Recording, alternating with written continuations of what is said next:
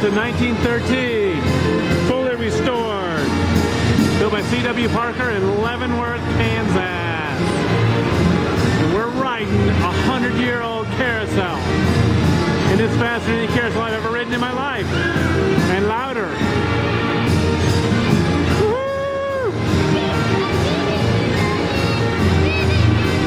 Beating me.